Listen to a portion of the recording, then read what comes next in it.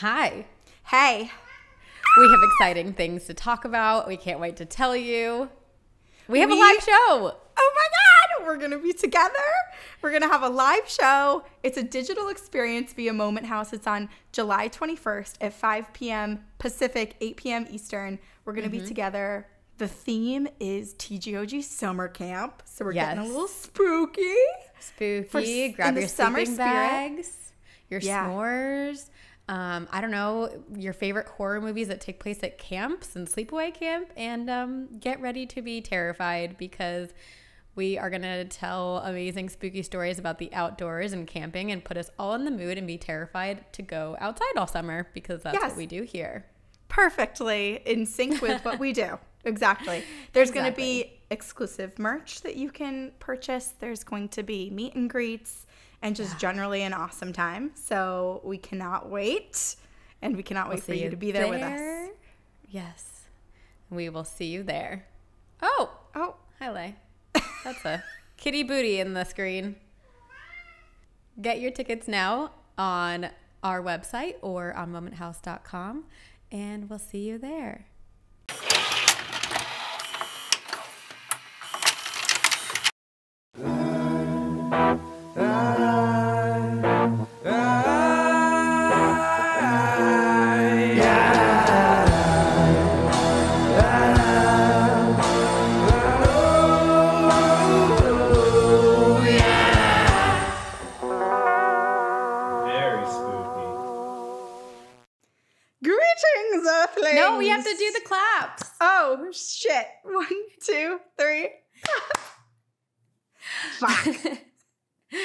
One day.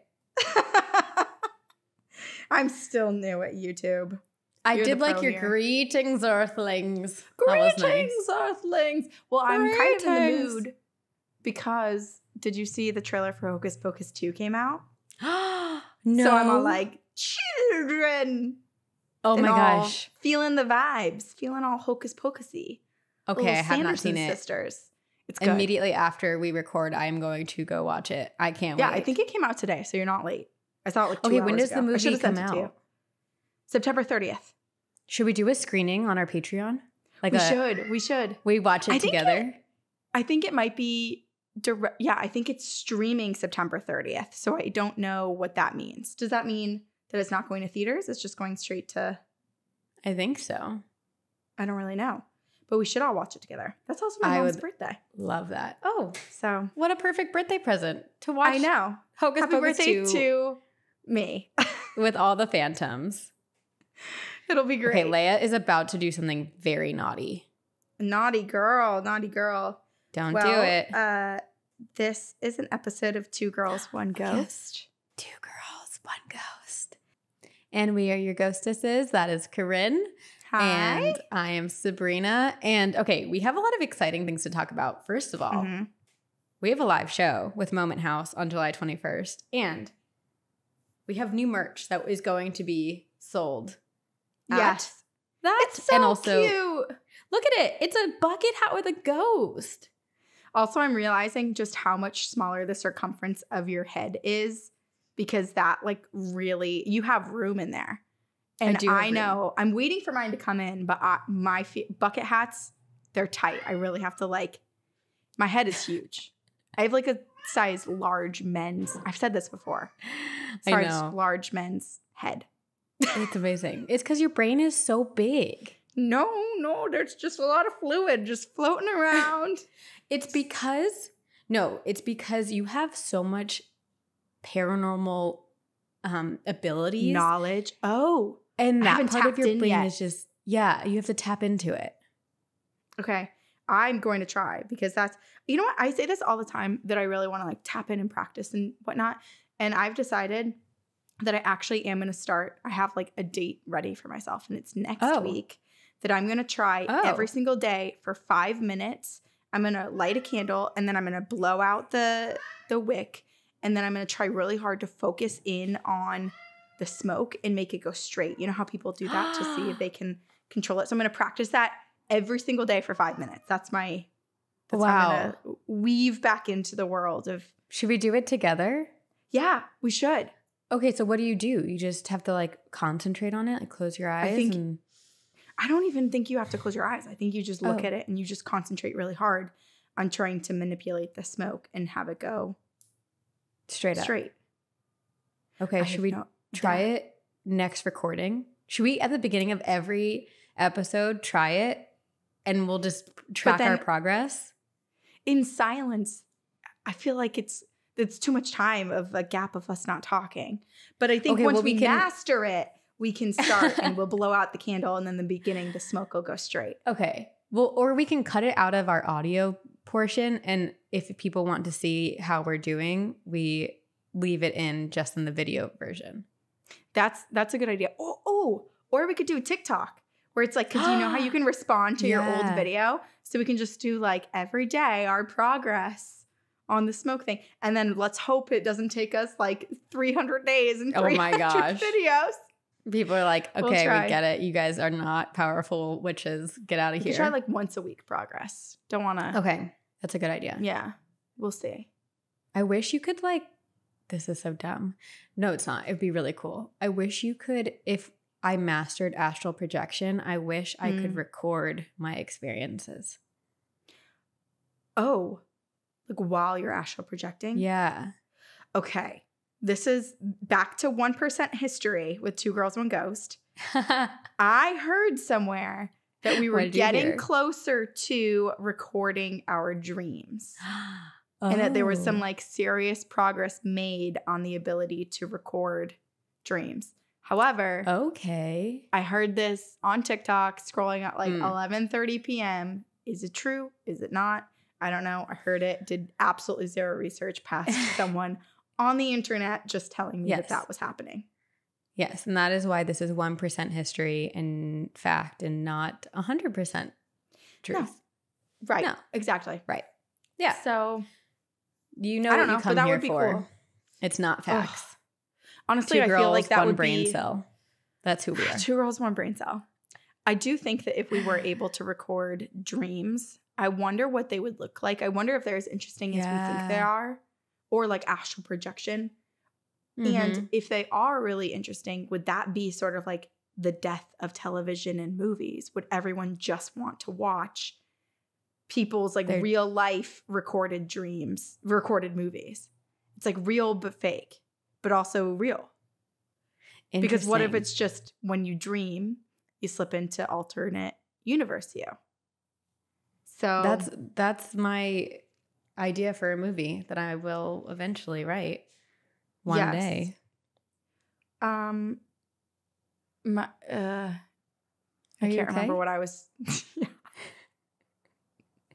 You know, I- it's because your brain is too big. Sometimes the thoughts disappear; they get lost in there. No, you want to know what it is? My recall abilities, my recall skills have gone Yeah. down the tr- trash chute. Like it's it's so far gone. I used to be able to be like, "Oh, this television show, this celebrity, this movie," and now I know what I'm talking about, but I don't know what it's called ever. And so I was having a moment where I wanted to bring something up, and then I realized I didn't remember the name of it, and I was like, "We can't have yet another episode where I go, what is the thing? What where is that I was like, forget it. I'll remember it, and we'll talk about it next week." and yeah, or you'll remember in the middle of like me telling a story, and you'll be like, "Oh," and you can interrupt me and tell me. Yes. Yeah. But I did start. I'm so late to the game. I did What? start, and now I'm forgetting the re because my recall sucks. Oh no! But the show where it's the church and the demons and the Oh, the, oh, oh, oh, oh, oh, oh, oh, the oh, angels. Oh, oh. my gosh! It's the same guy as Bly Manor. Why am I forgetting it? I literally have watched it. I watched it la- last night. Oh my gosh, we've talked about it so much. This is so annoying. Why do we do Um, this? Why does this happen to us? I don't know. This Oh, needs to um, like basically be It's cut like out. on the tip of my tongue. it is midnight. Ma- the midnight mass. Midnight midnight mass. mass. Yes, yes, yes, yes. You know, I need to play okay. some brain games. I know. I think Sudoku is supposed to be really good for your brain.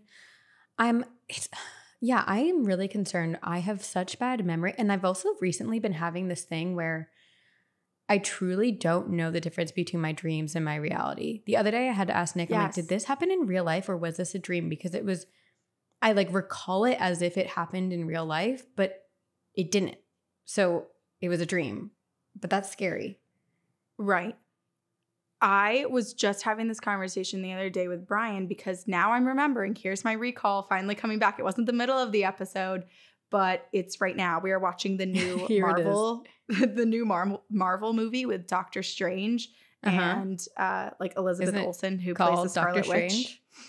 It- it's Doctor Strange something something something Mm. like one of the many Doctor Doctor Yeah, Strange yeah. movies because we're in his time period right now with the next series of movies. So yes. I think he's in like pretty much all of them. Um, but they were talking about like other universe U, and it was like, oh, that sucks for other universe U because basically you can slip into all of these other dimensions of all these other timelines. And we were talking about it in our dreams. Brian had a nightmare and I had a nightmare, and we are like, it was right after we'd watched the movie, and we're like, man, that really sucks for other universe me or other universe like this person that something horrible happened to in our dreams because they are so real. It feels so real. And then you start thinking, like, well, is this something? Are we seeing a glimpse into another Into timeline? some reality. Yeah. I I, I'm starting to really believe that. it. I do. Yeah, me too. I mean, But then it's like how many of how many alternate us's are there? Because I don't know. It's just like one of those things where it's like if you're having a dream about one thing that feels so close to your reality, it could just be a slightly skewed different universe. But then if you have something that's so drastically different than what your reality is, is that a different universe or is it the same? How many are Right. there? well, maybe it's one of those things where we're like, oh, well, I knew it was a dream because then this weird thing happened. And it's because it's different than our universe. It's like, Yeah. I knew it was a dream because then there were like dinosaurs walking outside. And that's not real today. I mean, except chickens and crocodiles and stuff and birds. Yeah, yeah, yeah. But like Except we do T-Rexes. But yeah, the T Rexes. But oh my God, wait. ADHD going off course. there, there is, I haven't been able to watch it because it's on a streaming service that I don't have. But there's a new show all about dinosaurs and incorporating all the new knowledge that we have of dinosaurs. And it's What? believed that T Rex, well, one of the theories is that the T Rex, you know how they have the little arms? little and they're generally have a like big use- head and little hands. yeah, good old Toy Story. Uh, so of course, one of the theories that we heard more Isn't that recently in the Despicable past Me? couple years. Um, I don't know. I thought Okay. it was. I thought it was Toy Story, but No. we could be wrong. I like how We we are just like fully holding our like little chicken arm T Rex arms until we finish this.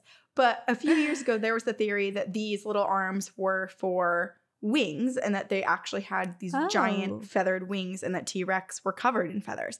But a new theory is that they were actually these colorful little arms that were used for male T Rex to do a little like dance and display for the females. So they like shut up, It's like tiny little birds. colorful arms. They show their like, "La, la, la, colors." la, la, la." Yeah, and they do like a silly little dance.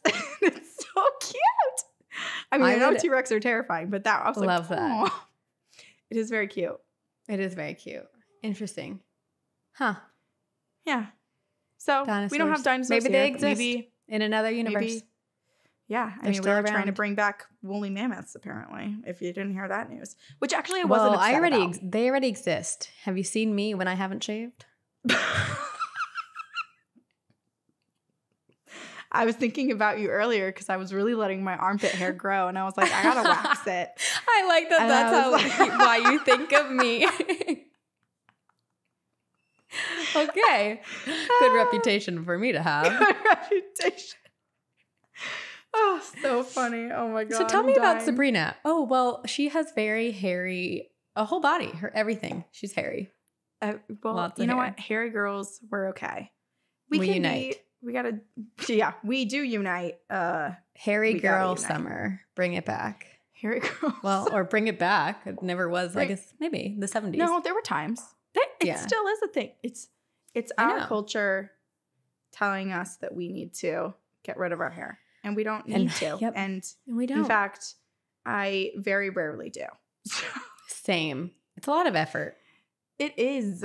Ugh. It I don't. But the the once a week shave that I do do feels great. So it's fine. Everything's Is fine. like yeah? this yeah. is fine. Everything's fine. everything's fine. The theme this week is Old Timey Ghosts. And it was picked by Yes. a Patreon donor. Yes. Old timey ghosts slash Mhm. skeptics were kind of like two suggestions in one. So Yes. I incorporated them both in mine, but we could basically go one way or the other. So we had yeah, a- wait, we who had- was it that who picked this Oh, topic? let me tell you. Okay. I think I can find it too. Let's see who It gets was- there first. It was Kate. Oh, you got there Suggested first. this.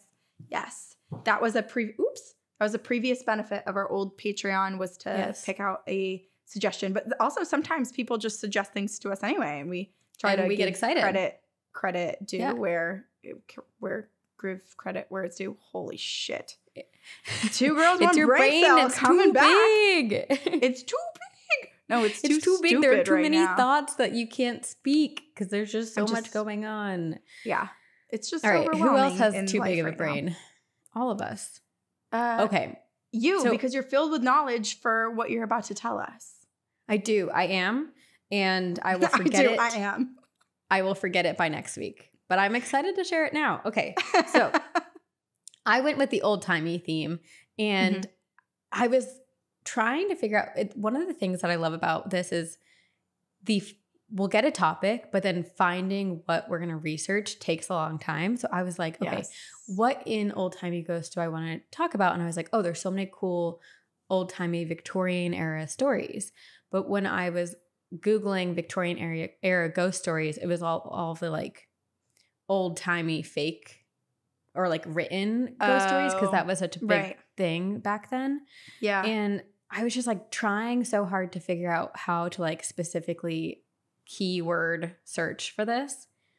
And then I was like, oh, okay, the UK is really old and there's so much history there. So I searched what I did. I did most haunted places in the UK. That's what I ended up searching.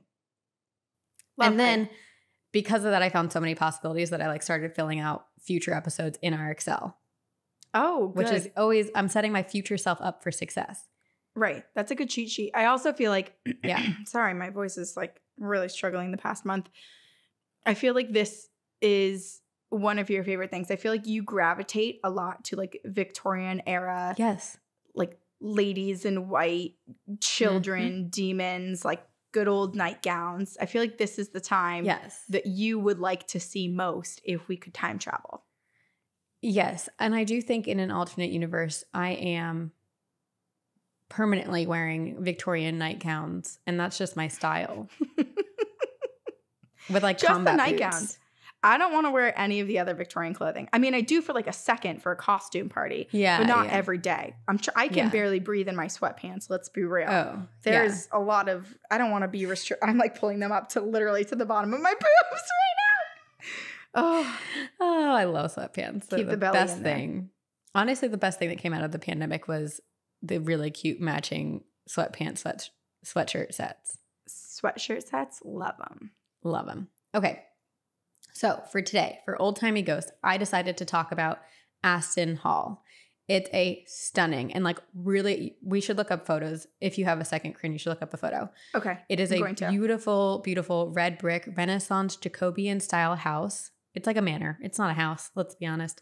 Um, in Birmingham, Bir- Birmingham, England, and it actually, when I saw a picture of it, it looked. It reminded me so much of Button House, which is from the BBC version of Ghosts. Okay, this is beautiful. I know it's gorgeous. If I were royalty, I'd be like, this is where I summer. I know This is my mansion. It This is is my manor. it's like very grandiose and royal looking. Yeah, Yes. it's so pretty. It makes me want my own haunted manor even more. Like this is where I would love to live. Yeah, I would it thrive would be there. so easy in a place this big because this is huge. It would be so easy for ghosts to exist and for Yes. even for like people to live there and you never find out because it is so huge. I I bet Yeah. people only use like maximum five rooms and never visit the Oh. other parts of it. Oh, and there I'm about to tell you how many rooms there are because Oh. well, I'll, I'll tell you in a minute, but like it is massive. It's so big. There's a parlor. Oh, literally right next. That's the next thing I have on my list. Great. Um, there's a great parlor, a drawing room, a green library, a great hall, a small dining room that's probably the size of my apartment. There are many bed chambers, a room for the king because in case the king was going to stay, they had to have a room for him and a long gallery. Which, you know what's interesting? Leia's excited about the long gallery. Would you like to come here? She, what if she, Oh. she's like, oh my gosh, my photograph, my portrait is in that long gallery from her past life. Oh, roy- as royalty. Maybe that's why I wanted to share it. Yeah. For I people do- who want to. Leia's in the video. She, yeah, she's here. She's snuggled up. I do want to know when did we move from calling our bedrooms chambers to just Hmm. bedrooms? Because I much prefer chambers. A That chamber. sounds nice. I also love start using back again. then that with royalty it was like the chamber but then there was the dressing chamber and it was a whole different room and there was like oh, yeah. i was talking to a friend who was just in paris and apparently they used to have a room where people would watch the king awake from his slumber Oh, uh, you know what? They watched a lot of weird shit. Like when Yes. people would get married and they would yes would consummate watch there was a them. watching room yep yeah. yep I mean, I Some wouldn't want to be fine. watched, but I would be first in line to watch others. Let's be real. I'm judging, but I'm not. you I'm would only have judging like when pom poms and like blow horns yeah. and you're ready I don't wanna cheer be the- on performer, but I'd be like, they were supposed to be in here 15 minutes ago. What's going on? I got here early so I could be first in line. I'm front row to the show, baby. yeah But yes i could see that yeah, Okay. um, as we all picture Corinne cheering on a couple having sex, I will tell you. So one thing, woo, you got Woo, this, girls. We're big supporters. Um, okay, so something I didn't realize is that you know how like all the old manors have like those really long galleries and it's just like a long hallway. Apparently, the longer the gallery, the wealthier you were. So people Oh. wanted to have these longer galleries to be like, "Ooh, look how wealthy I am, and I'm prestigious, and I have I'm better than you." Um, and it was also used for exercising in bad weather. I didn't know that. So you would just like quickly, briskly like a walk track. through your gallery. Yes. I do wonder. It's kind of an odd sign of wealth, and it makes me wonder if anyone took it to the extreme where they had a small, smaller, more modest home, but then just extended like a long ass rectangular hallway so that they could appear wealthy. I mean, that would be Mm. odd, but it's just one of those things where it's like, okay, It's like if I were to design a house nowadays and I decided not to have any bedrooms, but it would just be a really long hallway. right, exactly. That's my whole home. I'm sure someone's done it. It's basically like a container home, you know? Oh, yeah. Well, I But, guess now we're getting- them. Suddenly we're we've created a, just a really large studio apartment. I think that's Oh, what yeah. we're I guess that's doing in our minds. they should sell studio apartments like, "Ooh, your gallery hall apartment." The gallery hall apartment. Yeah. Yeah. Okay. So there was also an attic uh, up in the in the Aston Hall, which housed servants. Um, although I think Aston Hall's stunning and beautiful, I don't necessarily think I want to own it because it's a likely possibility, of course. Um, but because she's very haunted, and uh, I'm referring to the house is very haunted. There's lots of Mm. spirits. There are soldiers. There are murder victims. Oh, lots of ghosts. Yeah. So, before I get to all of that stuff, I'll tell you just about the history of Aston Hall. It is one of the last great Jacobean houses, and it took 17 years to complete. It was designed by John Thorpe and built between 1618 and 1635 for Sir Thomas Holt. Thomas was born into a wealthy family who owned quite a lot of land in Warwickshire, and the Holts had a lot of influential friends and family and were in a circle that extended to the royal family. So, yeah, they were friends with the royal family, bragging. And when Thomas was 21 years old, his father died, which meant that he then inherited all of the family wealth. And he basically he was a great businessman. He grew the family wealth exponentially. And in 1603, he received a knighthood from King James I. In 1612, Thomas bought the title of baronet and became the highest ranking man among all the local families. It was a big Hmm. deal. And it does Yeah. seem like Thomas really um he was a social climber is what I will say.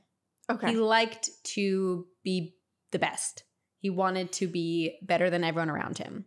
Yeah. You know, super unfortunate to be that type of person, but also I can understand that in that time period, it was beneficial for like your survival and well-being as a as a Yeah. human to I mean not that you want to like crush people to get where you want to be, but I understand that back in the day, you know, you needed to the bit cutthroat. not starve. Yeah. Yeah. So Thomas commissions the construction of Aston Hall in 1618, but because it took 17 years to complete, he did not move in until 1631. And even then, it was still under construction and being completed until 1635. His first wife died before ever being able to see the inside of Aston Hall. And Oh. Thomas and his first wife, whose name was Grace, had 15 children together. 15. Oh my gosh. I do think a lot of them unfortunately died in infancy. Um, right. and there are, yeah, well, I'll get to that in a second. Anyway, Thomas, he worked really hard. He cared a lot about external perception and his wealth. But he was a bit of um a he, I was going to say it nicely, but no, he was an asshole. That's that's the only way to say it. he was a dick, man. He was a dick. he was a certified douchebag.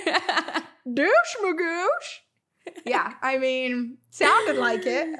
I don't think Yeah. you even had to say that from your earlier No. description. I was kind of like, eh, we wouldn't Eh, be friends with like him, him. probably. no, and No. you would not want to be one of his children either. Um, oh God. he had favorites when it came to his children, and it's also even safer to say that you were not safe if he did not like you. So, his one son, Edward, was sent to work in the household of King Charles I. Edward was his oldest son, so that meant Edward was in line to inherit all of the family fortune if Thomas were to die. Mhm. But when Edward was in London, he met and fell in love with a bishop's daughter and married her despite Thomas's disapproval. True. So love. Thomas basically cuts Edward out of his life, cuts him off from the inheritance entirely, and is like, never talking to you again. Truly disowns That- his son. sucks. Yeah. He What is he? What when people do that? Like, what are they expecting out of their children? Like, you're you're still going to Yeah. age and hopefully die before your kids. They're not good. Like, hopefully they have 30, 40 years to live life however they want without your reign and Yeah. influence. If you're like that, so you can't expect that you're going to dictate how their entire use of your money and what their your resources are going to do. So like just freaking let them do what they want. This it's interesting because it feels like Thomas almost treated his family and his family name as if they were royal themselves. Like you know how the royal family was Mm. very particular about royal blood and that's why there was a lot of incest cuz like they didn't want to, you know, contaminate their their line of ancestors even though that makes it worse. But I feel like Thomas just had the same like, oh, we we are just as good as them, meaning that we have to marry the best and Yeah. continue our legacy like that, which is obviously not correct. And it's, it's like a keeping up with the Joneses, but in the 1600s. yes, He had so many external and internal pressures on, and on also himself that keeping up with the royal family is I I'm sorry, you're setting yourself up for failure there. yeah. Yeah. And also, who wants that? Live your own life. Anyway, Mhm. so Thomas is like hating Edward. He totally disowns his oldest son. But then he's like, I love my daughter Elizabeth. So much so that he erected an elaborate monument at St. Cassian's church for her, which is like so weird. And you're like, oh, maybe Thomas just has a soft spot for his daughters, which maybe I'd agree with you. But he then locked his other daughter, Mary, away for 16 years until she died. Locked her up. What? Yep. Locked her in Aston Hall for 16 years. Rapunzel Why? or Cinderella style, whatever you may, lock the door, throw away the, the key kind of thing. Yep, locked her Do, up. do we know why? Yes, I will tell you. So let me back up. Okay. Okay. So Thomas and his family move into Aston Hall in 1631. In 1643, parliamentary troops attacked the house and was severely damaged, which for the most part was repaired over time. But for some reason, they decided to leave. So when the troops attacked, they were like shooting cannons into the house. And for Oh. some reason, they decided to leave a cannonball in the staircase. So I'm pretty sure it's still there today. You can see where the troop shot a cannon. The cannonball went through a window, through an open door, and into the banister of the stairs, and it is still there. Which I think is cool so to like just look it's at. just stuck within I the think so. banister, like the Yeah. beams. Yes. Yeah, just because I'm wondering from like a safety perspective how it remains there and doesn't kind of like roll off or topple onto someone's head. you know, we'll have to go visit to find out, I guess. Apparently so. Yes. King Charles himself came and visited Aston Hall, so it's good that he had a room for the king. And he and Queen Mary spent the night at the stunning estate on many occasions. And I'm also really hoping that this was before, because I couldn't find out like dates that they stayed, but I'm really hoping it's before Thomas locked his daughter away because I'm just imagining like very Cinderella style, like the royal family sipping tea in the uh, parlor and you're hearing like banging and screams from another room, like, let me out. Yeah, so sad. Yeah. Ugh. Little yellow wallpaper style. I'd I'd go mad. Oh gosh. Oh my gosh. Oh, I love that short story. Okay. So dark, but I yeah. Mm-hmm. So at Obviously, some point, we like it because it's dark. This is Yeah, what we did. us. We obviously Hello. like Hello. dark, disturbing stories. Does it have murder? Does it have a storyline where they lose their mind? Tell me more. Is there spiritual activity and demons and possession and monsters? Yes. Sign me up. Here is my blood. Take a pint. Take all of it. Okay. So, anyway, moving on. At some point, and I couldn't really figure out when, Thomas remarried the daughter of another baronet, Anne Littleton.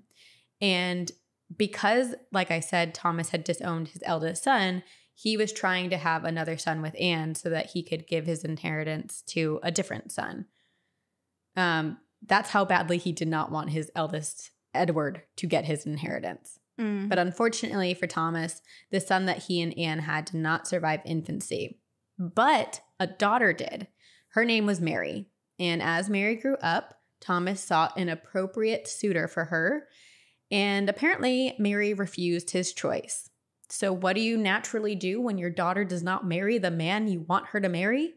You lock Murder her, in a room. oh, you lock Okay. her up.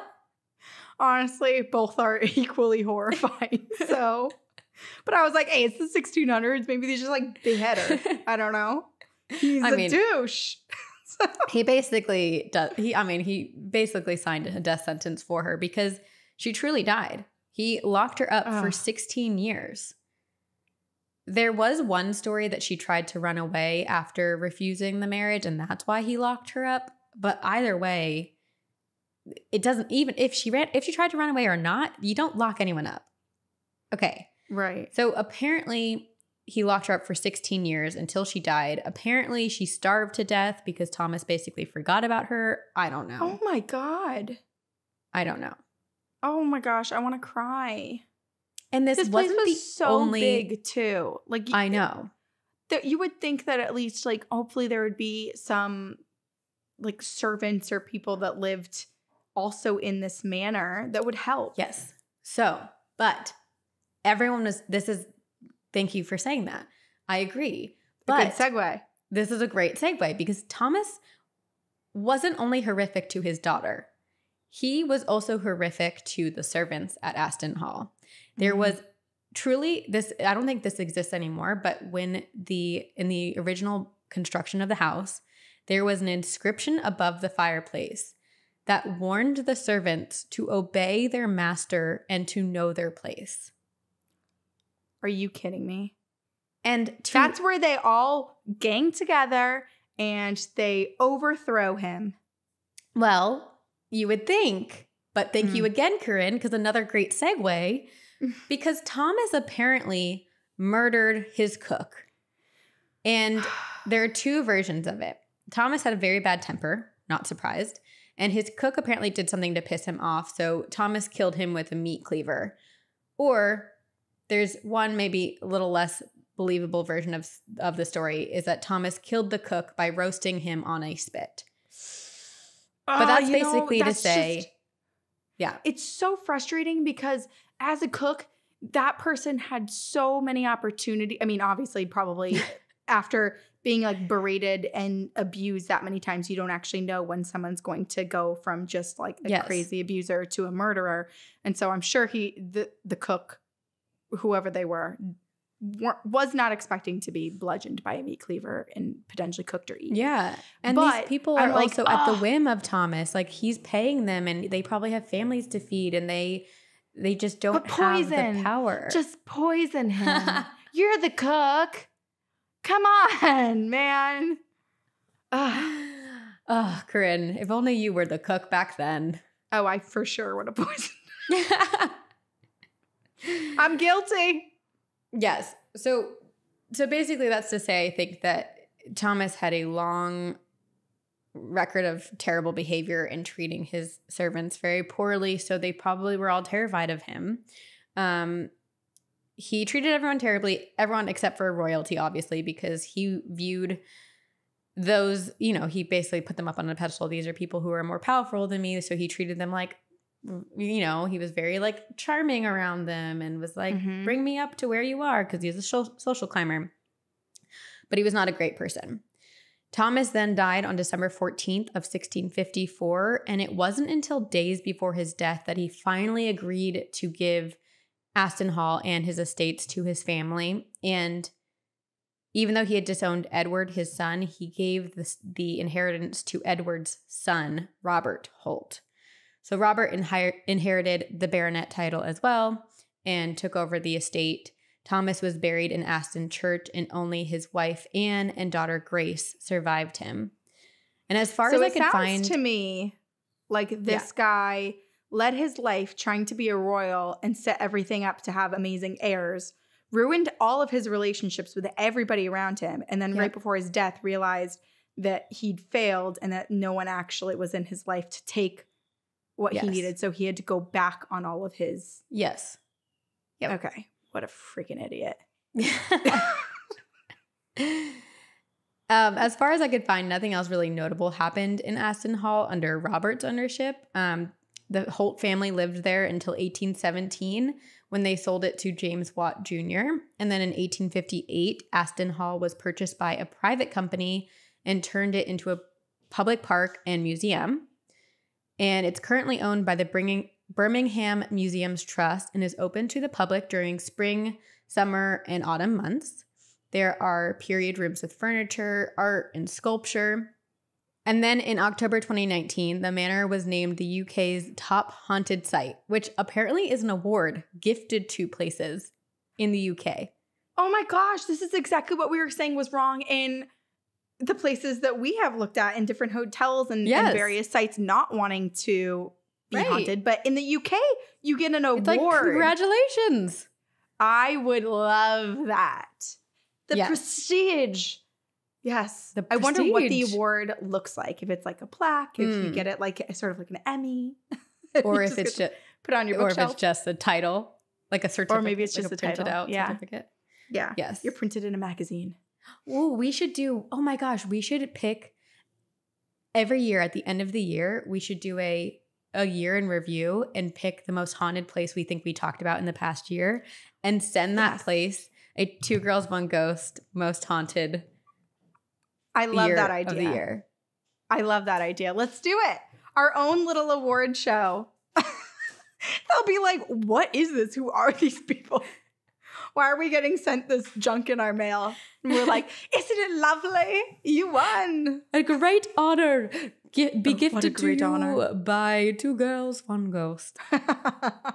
Wait, I think we should do that, and we should put a page like, like on it. our on our website honoring all of the winners of the years. yeah. We'll have a vote. It'll be like a true nominate who you think from the past year is the best. Oh, Our wait, own that's a little good award show. idea. We'll have an Okay. award show. Okay. All right, tune back in in December. We're going to do it. Okay. Perfect. Love it. Okay. So, as you can tell from the history of this home, there was quite a lot of terrible things that have happened. There's a lot of negative energy. Thank you, Thomas, for all of your horrible wrongdoings. Um, so it's haunted, quite haunted. Uh, the spirit of his daughter, Mary, who he had locked up in the house, is believed to haunt Aston Hall, which I'm very sad for her, but like she also has every right to haunt it. I just wish she could move on because she spent her life imprisoned there. I would hate to think that the afterlife she's spending in prison there as well. Yeah. Um, she is seen or called the gray ghost, and I'm not really sure if it's because she appears gray in color or if her outfit is gray. Hmm. Hmm. Uh, Uh, yeah. another another ghost that is believed to haunt Aston Hall is the spirit of a young houseboy called Dick. And according to legend, this is another terrible thing that Thomas did in the time of living at Aston Hall. Um, this young boy was accused of stealing, and Dick died by suicide.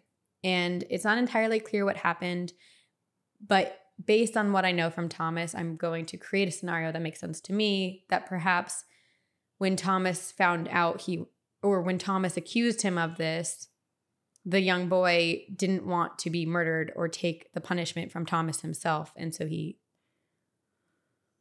you know, Which I mean, especially if Thomas murdered the cook and was terrible to everyone else, Right. like that's how terrified they all were. Well, and murdered him potentially with a meat cleaver. Like, yeah, it just goes to show how terrifying Thomas was and the what he did, the acts that he Yeah. inflicted on people were traumatizing. And people would Yes. rather pass away than At their own potentially will, yeah. see what he had in store for them, which is horrifying.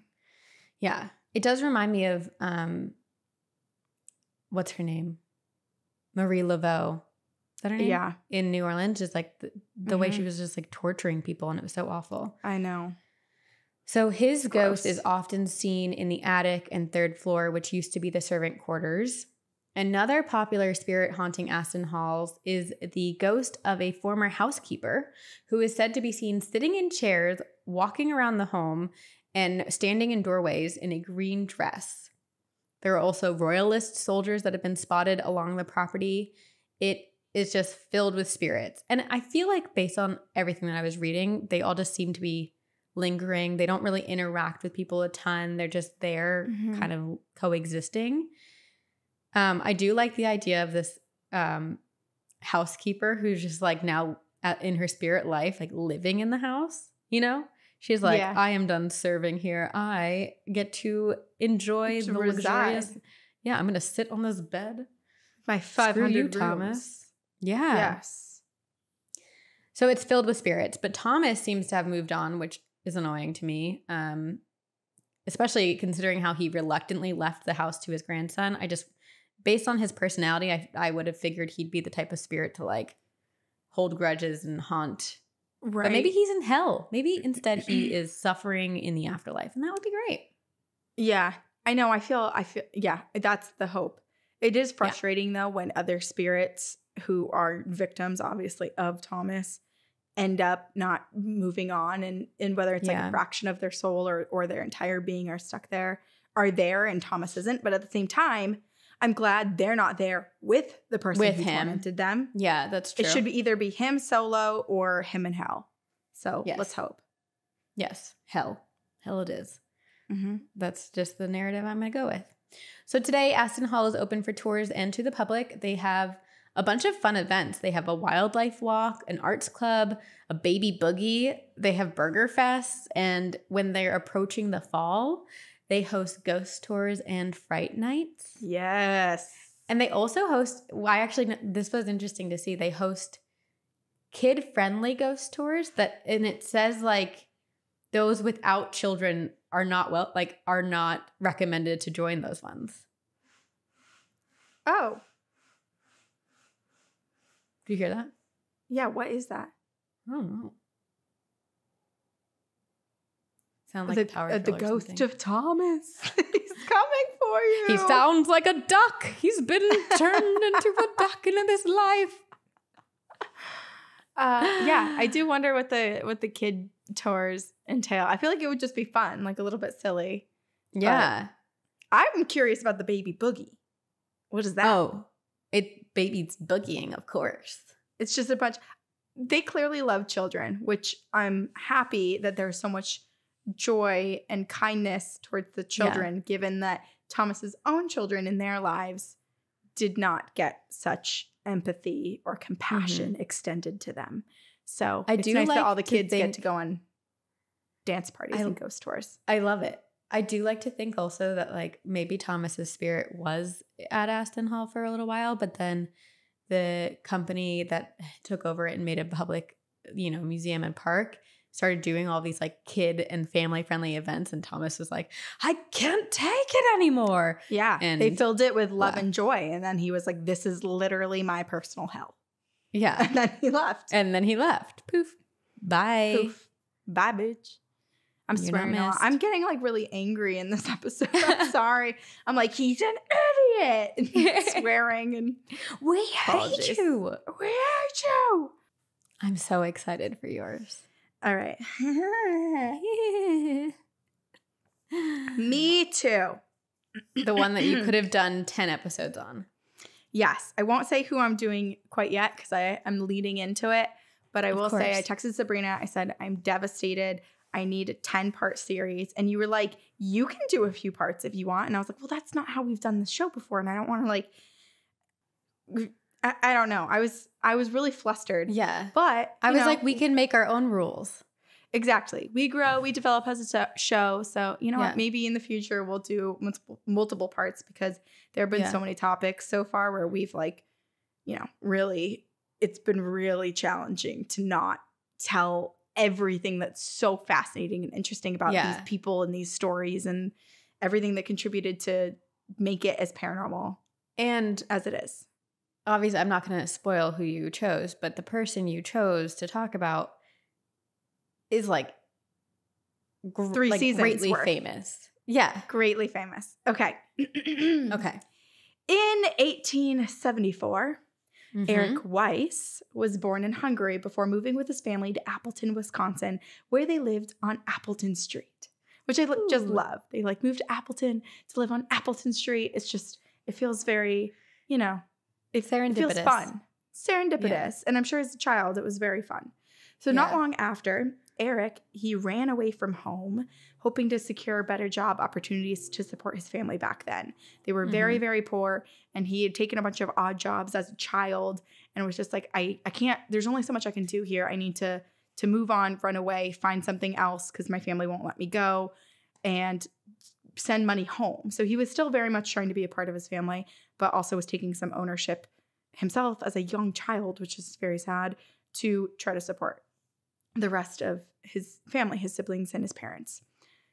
So, not long after, the family packed their bags once again and then they moved to New York City. And Eric, he The actually, Big Apple. the Big Apple baby from A- Appleton. oh, Appleton to the Big Apple. to Appleton, yeah, Appleton Street and Appleton to the Big Apple. So very Mhm. Apple themed in this guy's life. So he, you know, figures out that his family's moving there. His dad moves first, then he ends up following his dad. Then the rest of his family comes out and they all settle in New York City. At nine years old, Eric becomes a trapeze artist. That's one of his jobs.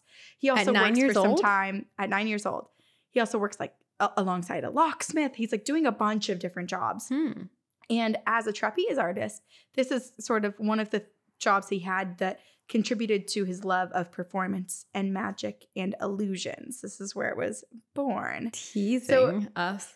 Yes, teasing you. So Eric took many more jobs. He traveled the US to, to perform his magic tricks. And though his magic shows were off to a slow start, he eventually had a breakthrough career moment when he met his manager who advised him to focus on his escape acts. And part of of one of his odd jobs in the past, which was working alongside a locksmith, actually contributed to him being able to kind of like tinker with and figure out all of these like magic tricks and handcuffs and and entrapments and everything, and made him or, or started his journey to become an amazing illusionist. Hmm. So soon, Eric, after meeting this manager and getting this this moment and and advice with his career, he starts traveling all over the world. He's performing his escape acts, his illusions, his card tricks, his outdoor stunts in places like the Netherlands and Germany and France and Russia. He drew huge crowds, some of whom thought that he must have been a real sorcerer because what he was doing seemed impossible. So many other people could not do it, could not figure Yeah. out how he did it. There were so many times where people thought he was about to die and he he didn't. He always escaped. And that is exactly how he wanted it. Eric challenged local police in each city to restrain him and lock them in the local jails. They would strip him nude, they would search him, handcuff him, and Eric would always escape. Oh my gosh. So people started referring to him as the Handcuff King. But we all know him by the name of Harry Houdini. Where did that name come from? I don't think I ever knew his non-stage name. Okay, so I should I should have written this down. So I'm just going from from memory right now. Yeah. There was Using that big brain of yours. There- At the time, there was a famous magician, I believe, whose last name was Houdin. And Eric had misunderstood kind of some of the translations, I think, in French, and thought the adding an I at the end of the name meant like similar to. So I think he took that. It was kind of like an homage. So like Houdin became Houdini. So you kind of stole some other magician's name. Yeah. Yeah. And he And liked his name- alliteration. Right. And then his name Eric when he moved to the US changed from Eric or like the the tra- not translation but like the way it was spelled changed basically from uh one version to like on Henri and then it kind of like morphed a little bit into Hmm. or like it was like Eric and then it sounded more like Henri and so basically it was like kind of Henry like the the there was just many different Interesting. It just evolved. Yeah, I mean, transformations a lot of people- time and where they moved and where they lived and where they were influenced that that Yeah. changed the pronunciation, the spelling, and the influence of his his name. Okay. Also, a lot of people changed their name when they came to the States. So that makes sense. Yeah, yeah, a lot of people did. Their last names tried to Americanize, and so yeah, there there was some of that to kind of fit in with with who they were surrounded by and what the family Yeah. was doing and spending who they were spending time with. I could have butchered that a bit because again, I didn't write this down. I'm just trying to remember what what I read. Um. So yeah, he's Harry Houdini. Okay. So while Harry Houdini became one of the greatest paid performers and is still considered today as one of the greatest illusionists and magicians of all time, he also had an interest in what was beyond illusion. Is magic real? Is the spirit world real? Mm. Before he found success, so before he met his manager who had helped him kind of along the way, Harry Houdini and his wife actually spent a stint traveling around as spiritualists. So Oh. Houdini, he would tie himself to a chair or like be tied to a chair. He would pretend to go into a trance. The curtains would close. He would escape the binds. He would come back out, and it was like, you know, the spirits had helped him. They untied him from this impossible restraint. And then there were some times where he would approach the edge of the stage and he would close his eyes and he would pretend to be a medium to like channel the spirit through him and deliver a message. Ah. And there was one time where he pretended to contact a murder vi- victim who had had their throat slit, and Harry Houdini was like, he was describing or like spelling out the name of the victim, and the way that he performed it. And let's remember, a lot of people totally believed in spiritualism Yeah. as as a movement. They thought, you know, like the spirit photos were real, everything was real Yeah. he scared so many people that people were running from the theater thinking that he was like truly possessed. So this guy was a he was a performer. A He was great. Have you seen Nightmare Alley?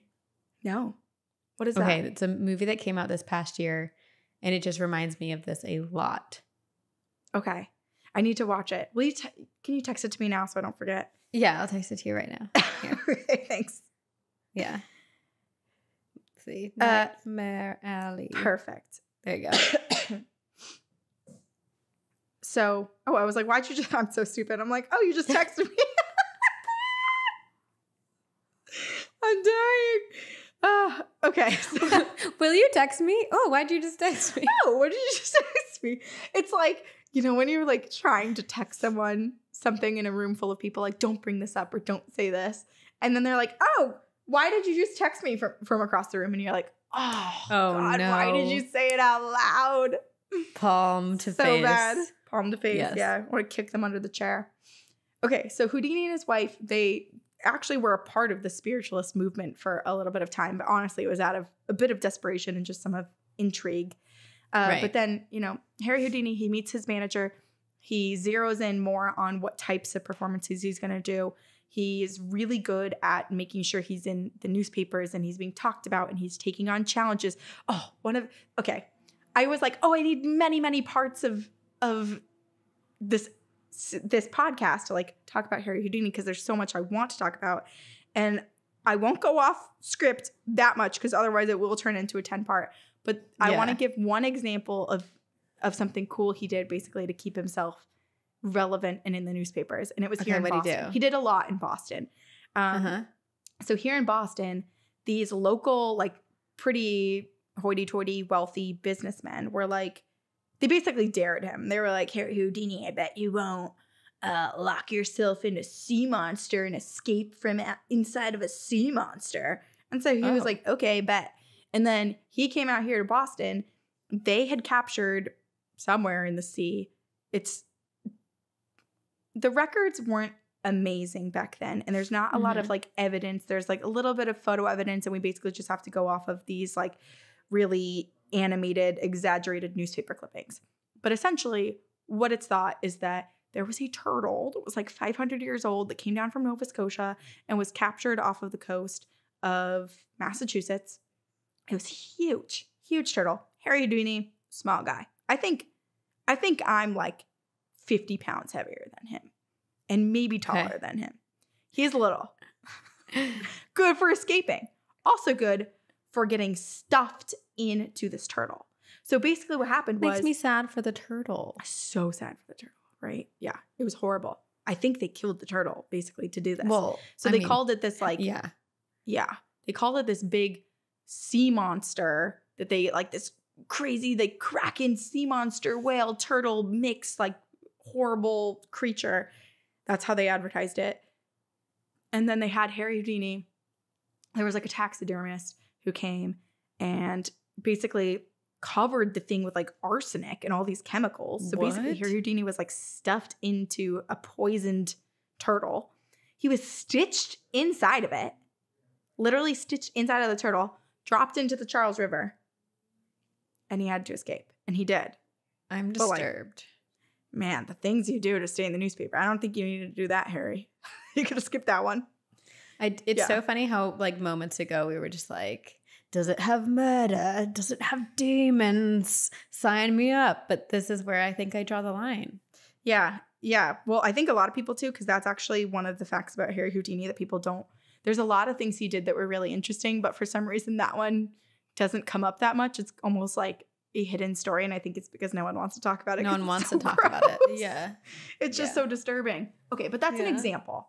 So Okay. he's he's becoming great. He's traveling the world.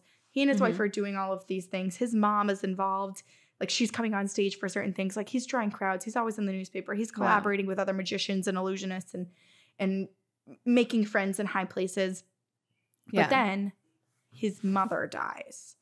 And Houdini once again found himself back involved in spiritualism because his mom had been one of his biggest supporters. His family grew up dirt poor. They had literally nothing. I mean, he was working like before he was 9 years old, like trying to support his family yeah. So young.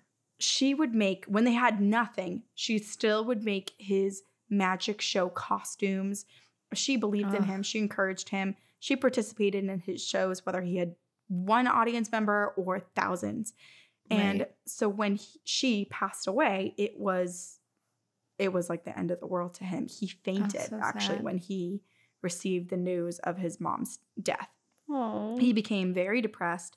He canceled a leg of his uh, European tour, and he was often seen visiting his mother's grave, lying face down on top of the grave on the grass, just having Oh these long conversations with her, just trying to talk to her. So Wow. very, very sad. He clearly was in a very dark place and needed a way to contact her. yes. So, because he was hoping to make contact with his mom, he decided to visit many mediums. And it was here that he realized just how fraudulent the industry was. So, he began to debunk mediums on his journey to find contact with his mother's spirit.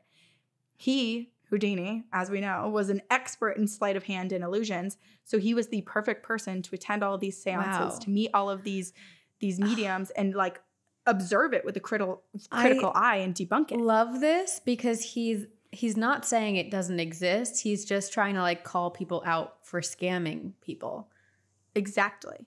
Exactly. in a search for more proof of and the ability to talk to his mom. That's exactly how it was. Yeah. And so he actually offered a cash prize to anyone who could prove that it was real, which drew more people to him, gave him the Yeah. opportunity to debunk more people. And so psychic after psychic became victim to Houdini as he exposed their false practices. Understandably, many mediums and psychics feared Houdini. A lot of people, Yes. a lot of big people, did not want to come to Houdini's challenge because they knew or thought, you know, there's the potential of him proving that what they were doing was trickery and they were taking And it could ruin their career. Yeah. Right. Uh, but that did not mean that he left them alone. No.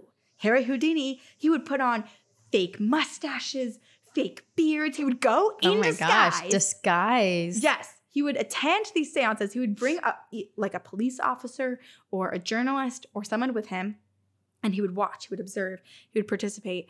And once he realized eh, during the seance or reading or whatever he was attending, once he thought he collected enough evidence, he would like rip off his mustache and he'd stand up and be, ah, I am Harry Houdini, and you are fake.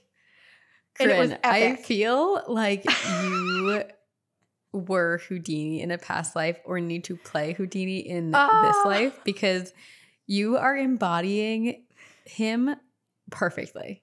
I am so passionate about Harry Houdini's story. I can tell. I really am. It Oh, shines man. through.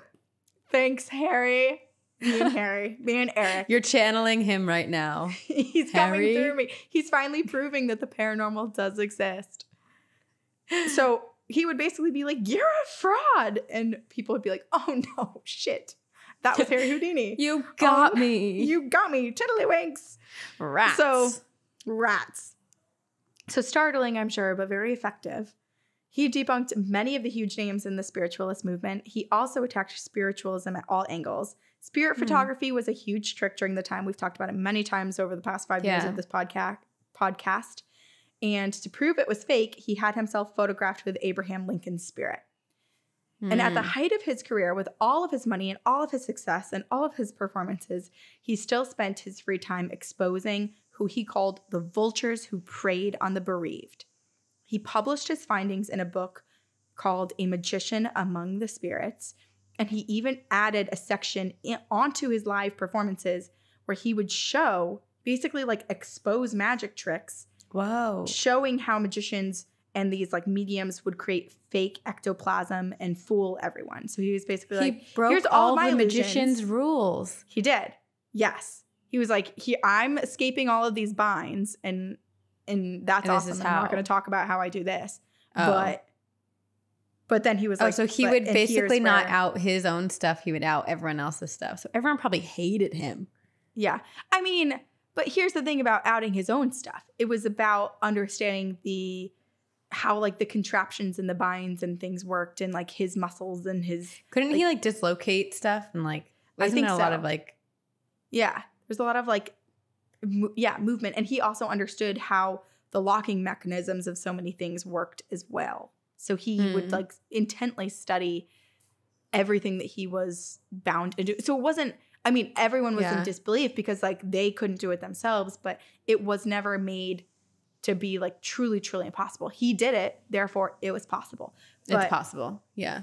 for he for the spiritualist movement, he was like, it's not your your dead mom coming to visit you. This is what they're doing. This is how they're doing it. Interesting. So he literally was like exposing everyone while at the height of his success, using his platform to be like, don't be fooled. Wow. So now Harry Houdini, he can definitely be considered a skeptic and Yeah. an old timey guy. But while his string of debunkings maybe would make you presume sometimes that he was turning into the idea of of thinking like the spirit world wasn't true and didn't exist after encountering person after person after person after person who was falsely making contact with the spirit Right. world he uh, actually was still quite open to the idea that there was something out there, that something real could could exist beyond what we knew in what we could see in front of us. Of course. He continued to attempt to contact the spirit world and unlock his powers, not to prove that you couldn't, but to see if you could. So during his life, Houdini made a pact with a few of his friends that if he died before them, he would contact them. He would give them these secret messages that only they would know, and they would know for sure it was him if they somehow received this message, this secret This is message kind that of- individually, one on one, only he knew. This Yeah, is kind of like I. what we did. Yes. Remember, I said purple underwear is what I'll tell a stranger to go tell you. yeah, but now everybody knows. Okay, fine. We'll talk about that. You and I need to come up with something individually by ourselves and not tell anyone. Oh, okay. People, okay. People should comment below what our thing should be, and Corinne and I will pick our favorite, but we won't tell everyone what we pick. Mm. Okay, well, there might be some problems with that, and I'll tell you why in a second. Oh, okay. Yeah, we'll see. We'll see. We'll see. Well, Uh, I want, okay. okay, okay, okay. We want to involve everyone, but we also want authenticity, you know? We want to know that it's real. And hopefully we die at the exact same moment. So we never have to. Holding hands at Area 51. So Exactly. Yeah. That's the plan. that's the plan. Hot ballooning over Area 51. Our balloon gets shot down. That's how we're going to go. So yeah. Holding hands. we'll, we'll live stream it. we take our tops off in the hot air balloon. Go out having fun Free the nipples, spray painted on the side of our basket. With our hairy armpits out. Yeah, baby. the woolly mammoths.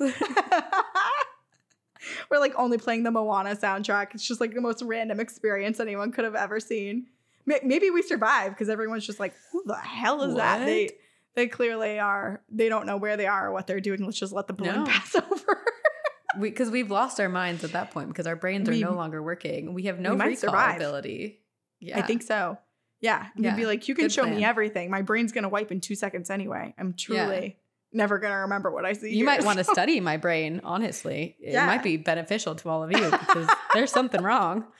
There's truly brain fog is getting worse and worse over these years. So by the time we're there, I'll be dust. Dust. Okay. Okay. so he made these pacts with his friends and with his wife, and he also began to do his own tests as well, using one of his most trusted people in his life, his wife, Bess, to help him. And there's so many examples of things that he did with Bess to try to, you know, see beyond just like contacting mediums and, and exposing them. Excuse me, if the spirit world was real.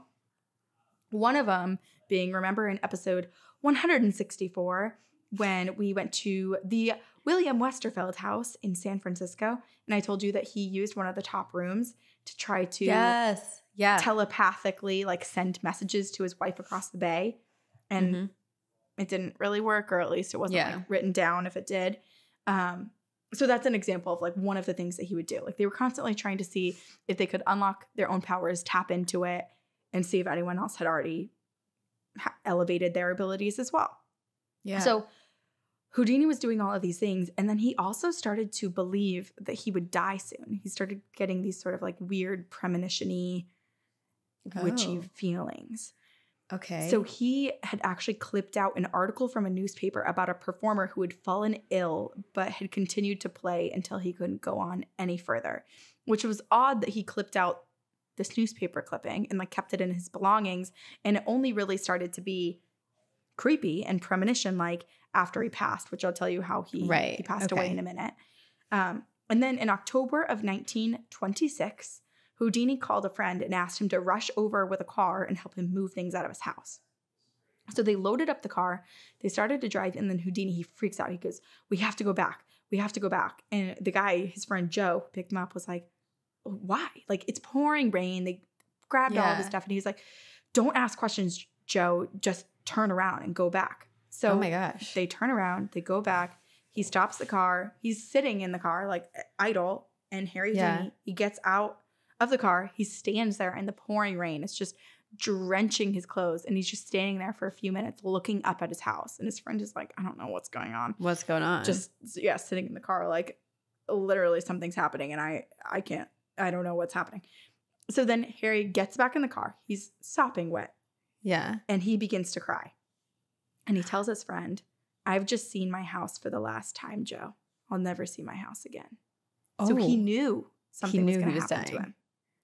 Might have chills. Oh whoa. Days later, Houdini was unknowingly performing on stage in Montreal with appendicitis. He continued the show until he couldn't any longer. He passed out backstage and his appendix ruptured. There's a lot of Days later.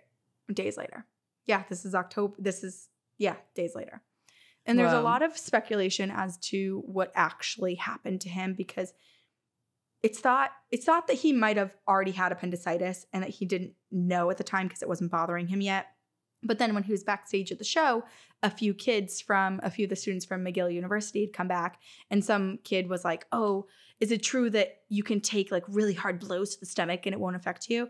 And Houdini was like laying down, and he was like, "Yeah, but only if I like know to brace myself first. But before he could like get all that out, the guy thought it was like permission to punch him, so he Hmm. started like punching him like full speed into his stomach but apparently there's there's not enough like correlation or evidence that having a blow to your stomach can also rupture your appendix so it's Hmm. thought that that didn't i mean that obviously caused him pain but it's thought Right. that he already had appendicitis and it just so happened that the punch also happened on like the same night that his appendix would get worse and rupture so, So lesson here is don't, punch people Don't let people punch you. well he wasn't he wasn't giving him permission Well, it sounds just- like he had given a lot of people permission in the past, so it was like a thing that he did. yeah part of his part of his performance yeah Yeah. um yeah so unfortunately that that happened so Jeez. he like passes out backstage he's like close the curtains close the curtains because he's in so he's like doubled over with pain uh and his appendix ruptures on Wow. halloween halloween of 1926 when the veil between the spirit world and ours is at its thinnest harry houdini passed away and he finally found his answer after passing Corinne, his wife- we have have to die at Area 51 together at old age on Halloween. Yes. Yeah, with maybe some like Harry Houdini handcuffs holding Okay, both of us let's together. shake on it. Let's shake on it. A little homage to to Harry Houdini himself. So after passing, his wife Bess was at a loss for what to do without him. She began holding Houdini seances every Sunday at the hour of his death. She would take a photograph of him into a room with her. She would shut the door and she would wait for him to give her a sign. She also offered a $10,000 reward to anyone who could give her the correct message that Harry That Houdini they had decided. and her yes, their secret message. Many people tried, only one succeeded. It was a famous medium named Arthur Ford. He came forward with a message from Houdini's mother that said, Forgive, and then a message from Houdini himself that said, Rosabelle, answer, tell, pray, answer, look, tell, answer, answer, tell. Rosabelle had been their secret word. It was the title of a song that was popular in Coney Island where they first met. And the rest was basically like a series of code that was used during Houdini's mind reading act. And so, however, the Oh. code is like deciphered, it basically, and like Bess knew the code, it meant believe. It spelled out believe. So the message was Rosabelle, their secret code, and then believe. Stop. So Bess was like, oh my gosh, this is Houdini. It's real. He's come forward. Whoa. But then they're concerned, and this is why I was saying, like, if if we chose from people's suggested messages Yeah, that might cause a problem, Yeah. because concerned friends and family would not let her give the ten thousand dollar award, and thought that that Ford was a fraud. A lot of people don't know how he could have discovered that message and, and known that message. And you know, Bess was looking for the sign, so maybe she was a little more open to it. But other people speculated that Ford just got really lucky in stringing together Mm. some of the things that were already out there in various print about his life, like when they first Right. met. That's a really good guess, though, and to understand and know the code that they had with each other. Right. Right. Yeah. So was it Houdini? Was it not? We don't really know. We don't know. The last Houdini seance was held on Halloween night, 10 years after Houdini died. Bess, a group of their friends, magicians, scientists, and occultists, gathered in Hollywood on the roof of Knickerbocker Hotel, and a broadcast was sent over the radio recording the seance. Oh they asked for a sign. They had brought bells. They said, please ring the bell. We have chalk for you to write a message. We have a pencil and paper if you want to Yeah. write a message, if you want to push any of the stuff anywhere. There's handcuffs. Make it clink, make it unlock. There's a chair, there's a table. Move it, levitate it. They were waiting, they were pleading, they were asking him and encouraging him to leave a sign. But there was nothing. Nothing Um, happened. At midnight. I do feel like Houdini though would be the type of spirit who was like, I don't want to do it for a show for everyone. Like I, I I feel like he would take spiritual connection very intimately, and like it has to be an intimate experience. I love that you said that because that makes a lot of sense given that in the past he spent a lot of his career trying to uh, basically essentially have people not monetize Yeah, and like be fraudulent with this. And so, of course, yeah, he didn't want to create a show of it, even though it was being broadcast. And this is Yeah. a really nice segue into saying that at midnight, once the broadcast was done, or essentially at midnight, mm-hmm. Bess Houdini was asked what she wanted to do because the night was over. The 10 year anniversary of his death had passed. And she Yeah. said, Yes, Houdini did not come through. My last hope is gone. I do not believe that Houdini can come back to me or to anyone. Oh my The Houdini heart. shrine has burned for 10 years. I now reverently turn out the light. It is finished. Good night, Harry. They end the broadcast. And just then, an extremely violent thunderstorm breaks out. It cracked so loud, like the sky was opening up. Lightning so bright and terrifying, it drenched all of the participants of the seance on this roof. They ran for cover. Afterwards, it is realized that this freakish flash thunderstorm only occurred right over Stop the it. Hotel, nowhere else. It was not anywhere else in Hollywood. It was directly over the hotel. Stop it. I know. I have so many chills. I'm shook. I That's right? amazing.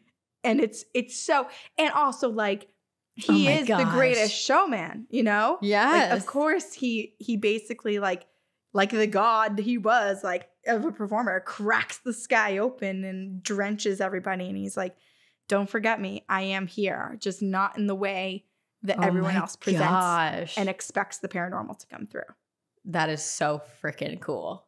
he's so cool so harry's harry houdini's spirit continues to leave signs of or from the other world and people continue to hold seances for him in the 1970s in Niagara Falls, a medium called for Houdini, and a flower pot and a book immediately crashed to the ground. And the book that was on the ground was about Houdini's life, and it opened, it was crashed down and had opened, fallen to a page where Houdini had written, "Do the dead return?" question mark. And so he leaves a lot of signs like that still throughout the decades, or people believe it's Houdini Mhm. coming through. Yeah. And so Harry Houdini finally figured out how to communicate with the other side. But just like with his illusions and escape tricks, he just needed to study it intimately from the inside to figure out how to reach out. Wow, that was beautifully written, Corinne. Thanks. Using Ah. that brain of yours. There you go. It's because I have written down, I had like partially done this research maybe half a year ago, maybe more. Yeah. It has been in my like podcast research Google Doc for Yeah. a long, long time. And it was Yeah. pages. It was like, it was like 50 pages. That's why I was like, oh, Sabrina, I'm struggling. What it's, it? it's been floating. It's been taking up space in my brain for so long. And now you Now I can can finally, let it go. It's out. I can finally speak English again and focus on other things. You've told Houdini's story. He came in, he channeled himself through you, and Yes. this is another sign that Houdini is leaving behind in the universe is through I you, know. Corinne. Isn't that amazing though? And there's He's- so much more. There's so much more. Ugh. He's But yeah. amazing. It's I just love that he did what I think a lot of people struggle to do, which is waver somewhere in between being a skeptic and a full on believer. He Yes, was we fail at doing that. we're full on we're believers, terrible. okay? Full, Yeah. full believer here. And it was, but it was coming from the best place in his heart where he was like, I think that there's something else. I think we can make contact. I believe in our abilities to do something greater. And I believe that there is more Yeah. beyond our life. But I also know that there's a lot of people that take advantage of people's beliefs. And so he was Yes. trying to find that balance in between. And I think he did a really great job of it. And it's it's kind of funny because he was in the beginning a part of it with his like pretend possessions. And only once he lost someone himself did he realize how how much damage it, it does to to feel like you're experiencing something and for it Yeah. to turn out to have been faked for Yeah, for I mean, the way you were saying that he was he was channeling, and and obviously now retrospective is fake, but the a murder victim. Like imagine being the family of that that poor innocent person and and seeing Right. that and and it sounds like it was really horrific. So it wasn't like he was like, oh, this message is coming through. It was like he was like displaying the pain that the poor person was experiencing in death. So it is Yeah. that is horrific. And that was the problem I think with a lot of spiritualism was that it wasn't it wasn't marketed as a show. It wasn't marketed as like Yeah. theater or an experience. It was marketed as Yeah. the absolute truth. That this is Right. real. and people believed it and people wanted to believe it and i mean i i feel like still today there are a lot of people who that's why like when we had when we talked to michelle t on um campfire stories she was like i never charge for this and people shouldn't charge for this like that's i think how you know when someone's being honest with you or versus like right. trying to steal money. And obviously, like there are some that you pay for, and we've done that before. But like, I do think there is a lot of there are a lot of people out there who could manipulate this type of career for their own benefit and not necessarily caring Yeah. about everyone else in it who's going to them and seeking answers. Right. It's a hard line because it's like you want, you obviously want to, like, if you did have the ability to do that and you could tap into it, you obviously want to share that with everybody. but in order to yeah. like truly share it as much as, eh, as, you want and to benefit others, like you do need to survive and live. And so I understand Right. people that obviously charge for it, but then yeah, it does. There's, it's so difficult to know, like maybe like the 95% of people that are, are fraudulent and Right. those that truly can. It we don't know. Yeah. So That's why I feel like if I ever go to see a medium or a psychic or anything, I would take references and recommendations from people. I wouldn't just like blindly go in somewhere. right. Yeah. Although it is interesting, I I still think about that one spiritual shop that's now closed in Santa Cruz, California, that I went to in twenty Yeah. like two thousand nine or something, and it was like to a T everything, and I was like, ooh, I this know. lady is legit. Yeah. So I- sometimes you happen upon it, and then sometimes it's like, okay, that was nothing. Waste my, dream is still like to be walking in the grocery store and someone like taps me on the shou- shoulder and is like, "I'm really sorry, but I have to tell you this. I have a message for you." That's Ugh. like my ugh, yes, dream. I know. Dream. That would be awesome. Why doesn't that happen to us?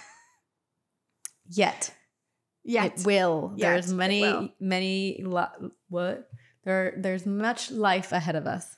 Much life, many more days, many more Many opportunities. more days. Okay.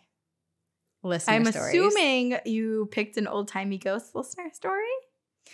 Um, I believe I did. Let's see. Who did I pick? Okay. Okay, I did. And like, I couldn't find a Victorian era ghost story. I found it for our listener story. This is from our listener Laura, and it is called One Old Freaky Victorian. Hello, fellow ghost loving gals. I just wanted to start off by saying that I absolutely love listening to your show, and it is so nice to know that there is a whole community of people out there that are just as obsessed with paranormal activity as I am. Yes. Ayo. There's a lot of us. There's a lot of us.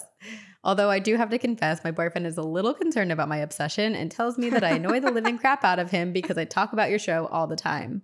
So thank you for being so paranormally amazing and helping me annoy my boyfriend. Amazing. now, before I start my spooky tale, I think it's important to mention where my obsession with the ghostly realm stems from. So I grew up in an old ass Victorian house right outside of Philadelphia. To clarify, I don't mean a pretty Victorian with a modern twist that you see in rom coms. No.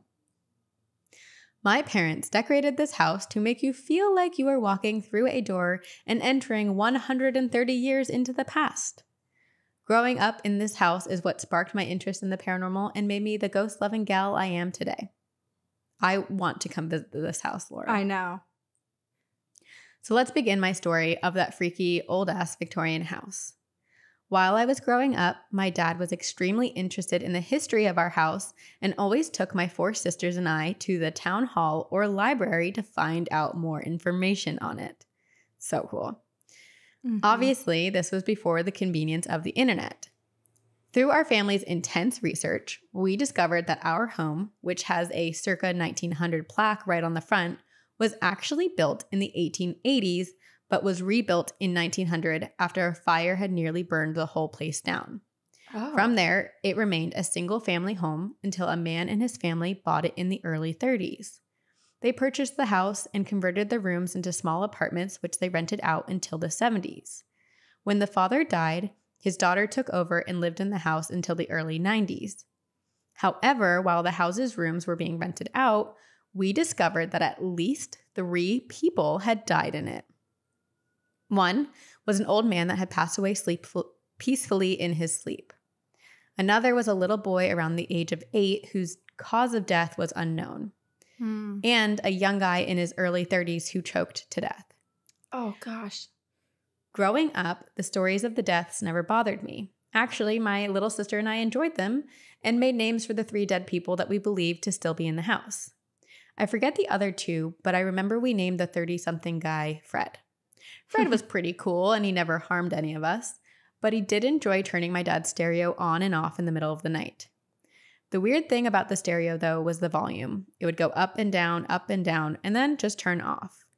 My dad, who is an electrician, always blamed it on the wiring. But one night, the stereo turned on by itself again, and my little sister yelled down to the basement where the stereo was located and said, Fred, turn that off, please. And a second later, he did. Ah, My love it. dad still blamed it on the wiring, but my sister and I knew that it was definitely Fred. Now, Fred's little shenanigans weren't the only paranormal activity in the house. One night, while I was in fifth grade and my sister was in third, we were changing into our pajamas when a huge, glowing black orb appeared right under the ceiling. No joke. A few seconds after, this thing started growing long legs and flying around the room. And oh, yes, ooh. I've never thought about that. About just like I always think of like the full body apparition being completely separate than the orb, and to think that it like just shot out legs. I was like running with its little orb body through the air. Oh, that's weird. That's freaky. It's so weird. And yes, I swear this happened, and it was actually glowing, glowing. I looked at my little sister, and she was as white as a ghost. We screamed at the top of our lungs and ran as fast as we could down the stairs. My parents heard us and ran to us from their spot in the kitchen. We ran into their arms and told them what we saw, but when we came back to our room, it was gone. This huge, glowing, black, flying creature with long legs had completely vanished. And guess the night that this happened? October 31st. Coincidence? I think not. The veil was thin on that The Halloween night. thin. I do love the idea of like ghosts being like, it's Halloween. Let's scare some kids. Let's run amok, baby. Let's do the Release weirdest yourselves. thing we can do.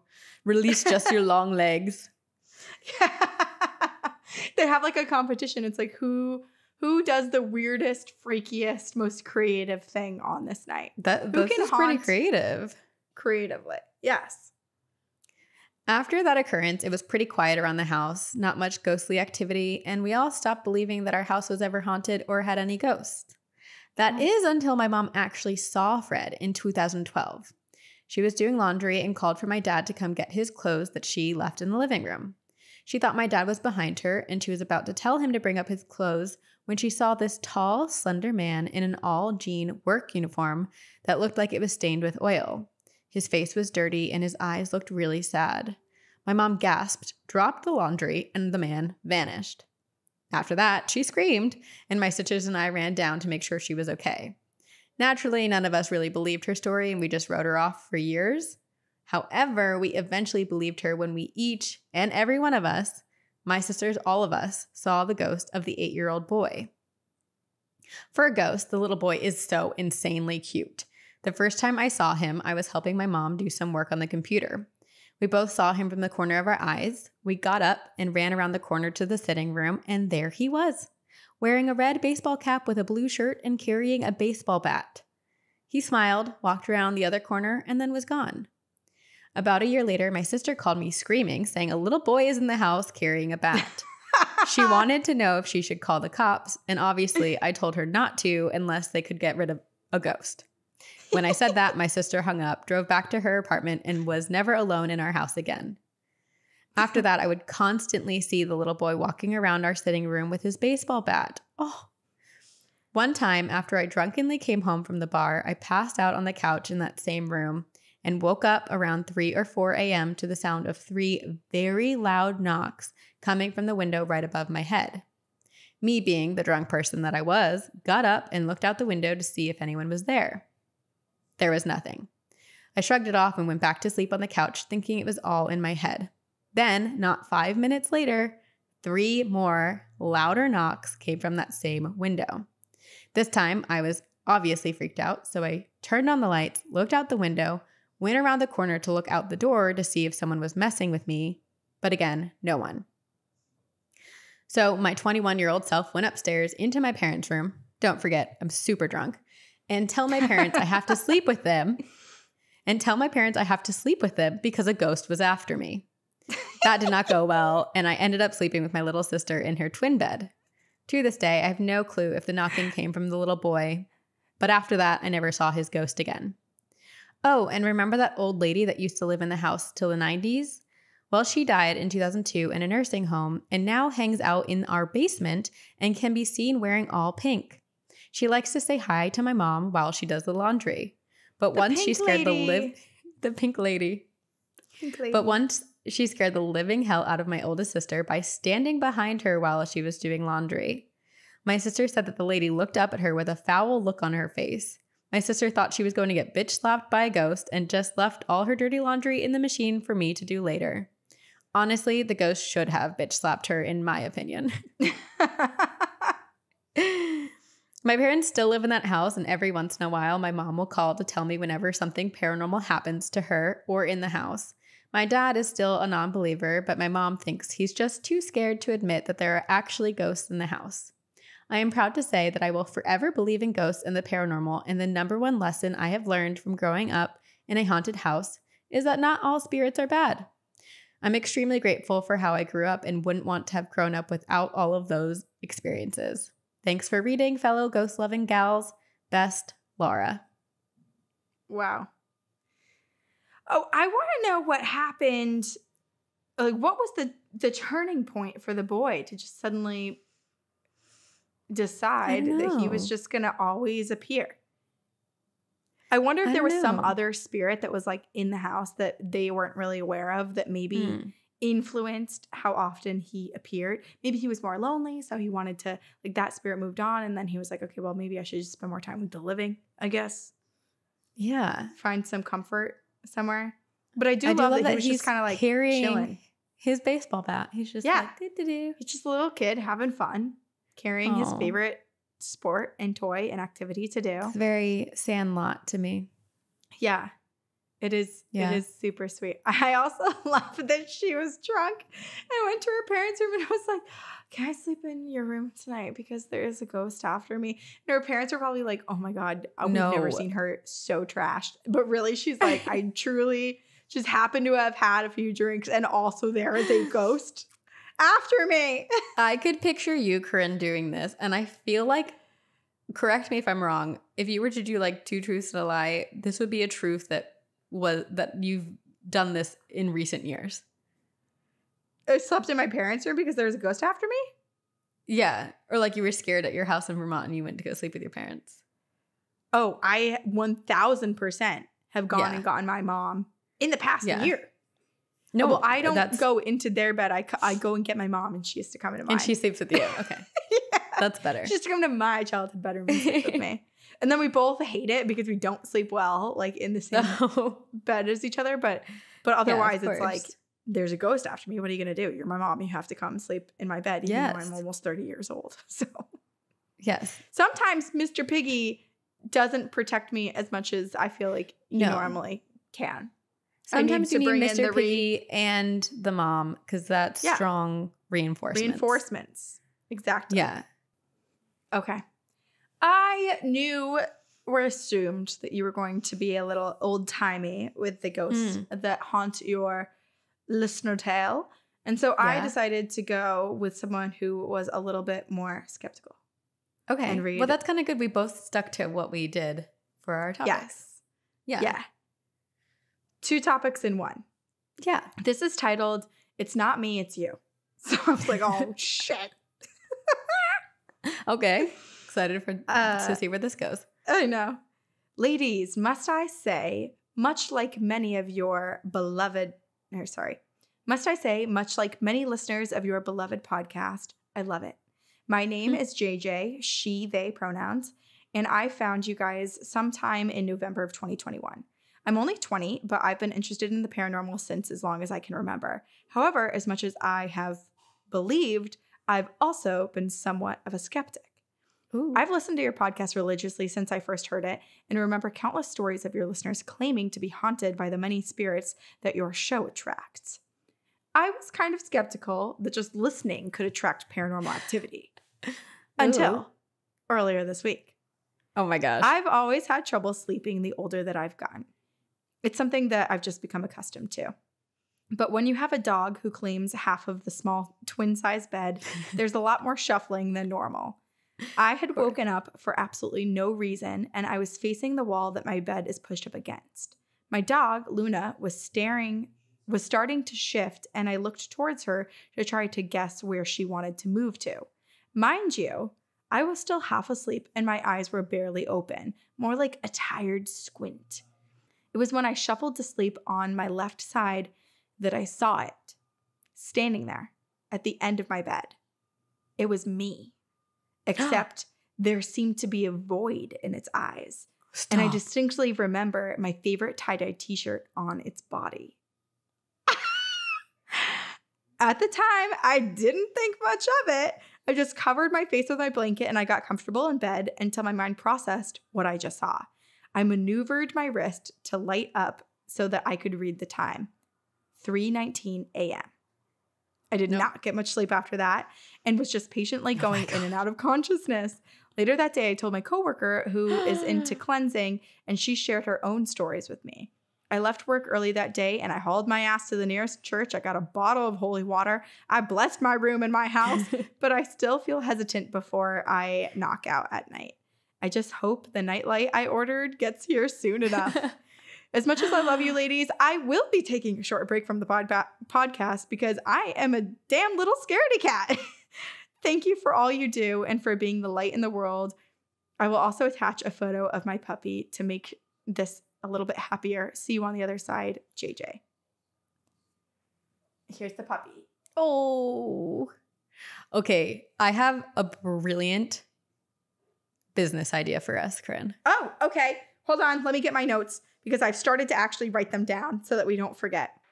What is the business idea, Sabrina? A Pulling up our- TGOG nightlight that is this ghost. Oh, oh, Sabrina, that's so cute. TM, we're doing it. We're doing it. I love that. I love that. A ghost We're nightlight to help keep away the ghosts. It's happening. It's happening. Because then all the ghosts will see the ghost nightlight and they're like, oh, there's already a ghost here. The, it's, Ghost they're, they're busy. it's in our it's in our thing. Okay. It's JJ, you inspired this. Okay. Wow. But this story also made me think and wonder how many times, okay, what if like, how do I word this? I'm curious how often we are sleeping and a weird, terrifying doppelganger version of us is just standing watching our, us and you sleep through it. Plotting, figuring out how to take our lives over without anyone knowing Yeah. that it's them. They're like studying us and our behavior and how we sleep and what we do. And the dog. Yeah. And like, yeah, maybe it was like trying to build the relationship with the dog too, so that it, the dog was friendly with them, so that they other people would think that there was nothing off. I do not like that. The void eyes, ew, just standing there, and Wearing the favorite shirt. yes, in their shirt, in their favorite tie dye tee. It's so disturbing. That's like a It's so doppelganger example that I, yeah, that I've never really, I don't think we've heard anything like this. It's really scary to think that it's just like your doppelganger is standing there at the end of your bed, just like waiting and watching. But you know what? It teaches Blankly. our listeners to believe us and everyone else when we say this podcast is haunted. This Because podcast if you most question haunted. it, perhaps that's when you'll be from skeptic to believer real quick. real quick. Because the ghosts are coming for you. just say whether you, you, believe want it it or not. Say Yeah. you believe it because then there's a better chance that the spirits won't haunt you, I think. Correct. I think so too. Yeah. Wow. Well, this has been fun. this is, I mean, when is it not fun? I know. This is a blast, our favorite time of the week. Favorite time. If you have stories, please email them to us at two girls one ghost podcast at gmail.com. You can support us. You know the spiel, rate and review on iTunes. We got Patreon, we got merch, join the What did we TGO? Triangle, get lost in it. Uh, Lost and then in the also, please come to our, our show. Come. Yes. July 21st, 5 p.m. Pacific, 8 p.m. Eastern. Corinne and I will be live streaming. So you can join from anywhere in the world, which is amazing. And Corinne and I will be together in Los Angeles and we'll be Mhm. broadcasting to the universe, kind of like they Our did when they had a digital seance with Houdini. Exactly. Um, yeah. So Please get join your merch, get into your Yeah. comfiest campfire, campy summer camp Mhm. vibes and clothes and join us then. I'll wear my bucket hat. Perfect. Well, now my hair's up, so I can't.